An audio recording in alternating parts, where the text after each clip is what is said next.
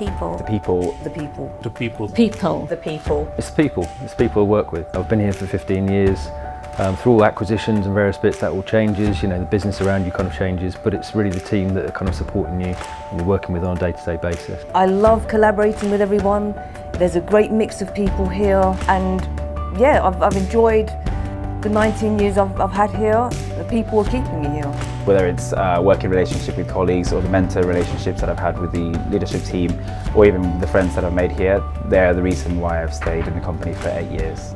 Normally, in a day work, you spend most of your time with your colleagues than even, sometimes even more time than with your friends and your partner. So have a nice work colleagues like I do have here.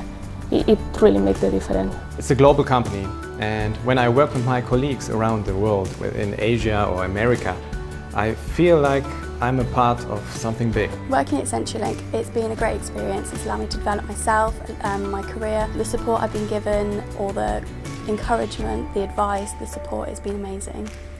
I, I, love working for a global company. I've reported into the US as well as working solely in the UK and EMEA businesses um, and I think it's a really interesting opportunity to get to know uh, lots of different people from around the business.